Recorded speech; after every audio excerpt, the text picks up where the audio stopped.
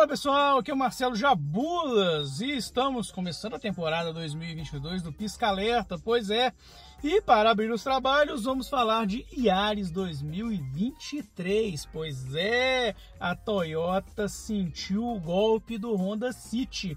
Pois é, ela mudou esse carro, trouxe alguns ajustes visuais e novos conteúdos que a gente vai falar logo depois da vinheta. Então, para a gente iniciar a temporada 2022 do Pisca Alerta, vamos de Ares 2023. Roda aí!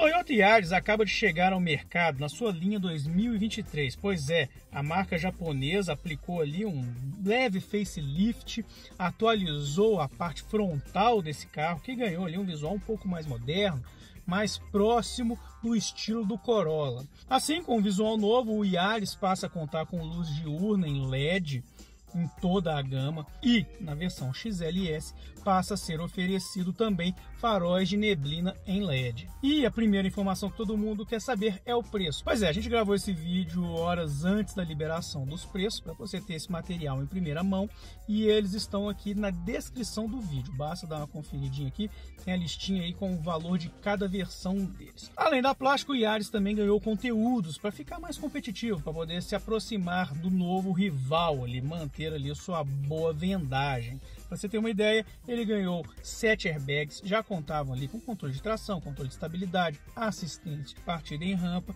e agora ampliou ali o número de bolsas infláveis ali para oferecer um máximo de proteção em caso de colisão. Nas versões mais sofisticadas, a XS e XLS, ele também passa a contar com alerta de colisão com maior distribuição de carga de frenagem. O que é isso? Quando ele detecta o risco de uma colisão, ao pisar no freio, o próprio sistema amplifica ali o peso da frenagem, ou seja, você pode pisar devagarzinho, ele vai dar carga máxima, pois entende que está próximo de um obstáculo e precisa frear o quanto antes. Outro item que foi adicionado é o monitor de saída de faixa de rodagem. Não é aquele monitor de permanência ativo, como você tem no Corolla Cross. Não, ele alerta se você estiver saindo da faixa para você ficar boneco e voltar para a faixa de rodagem. Sobre o capô, o Yaris não mudou nada. Ele mantém o motor 1.5, 16 válvulas de 110 cavalos, combinado com transmissão do tipo CVT com emulador de 7 marchas. No entanto, o modelo passa a contar também ali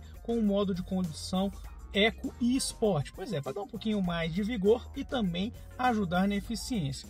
Segundo a própria Toyota, de acordo com a etiquetagem do Imetro, o Yaris na versão hatch tem consumo com etanol na casa de 8,8 km por litro na cidade e 10 km por litro na estrada. Já na carroceria sedã, as médias são melhores, de 9 km por litro na cidade e 10,6 na estrada.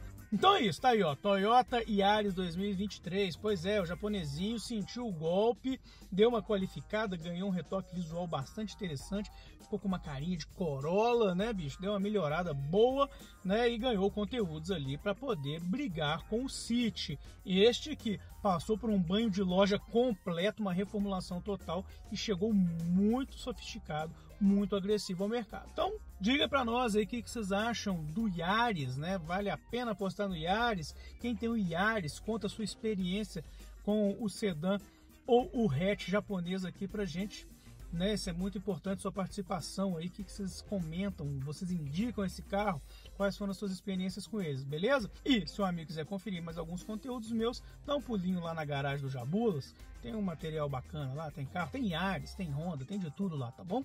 É isso aí, um grande abraço e até a próxima, valeu!